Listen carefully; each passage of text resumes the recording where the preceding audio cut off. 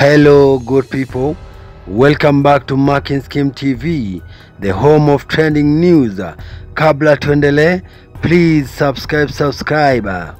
Haya mambo ambayo unayongelea hapa kwenye hii posti yako hayafai kusemwa na wewe, yanafaa kusemwa na mke wako Eden Derito. Haya yalikuwa maoni ya Wakenya wakimwambia Samido baada ya Samido kushia post moja kwenye ukurasa wake wa social media pale ambapo alisema kwamba tell them we survived depression, betrayal and disappointment.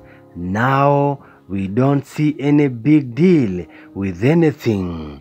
Netizens ambao ni diehard fans wa Eden Derito hawakuweza kufurahishwa na hii post ya Samido na wakaenda na kutoa maoni yao kadha wa kadha.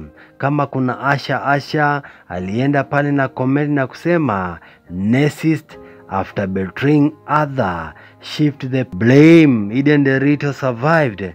Queen Celestine commented, mkiona ameanza kuandika huu hashtag babanimu, mambo sio mazuri haha. Esther Nikki commented at betrayal, see we stalking haha. Nziga Irene commented, this statement would sound genuine if it's not coming from you.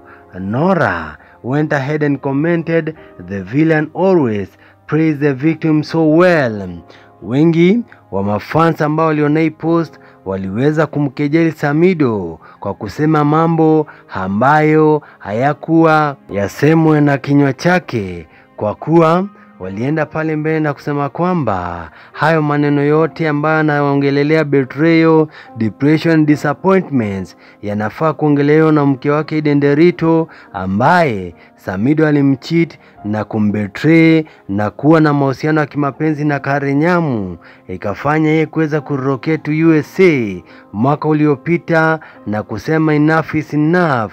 Guys, what's your comment about this? And if you're new to this channel, please subscribe, subscribe.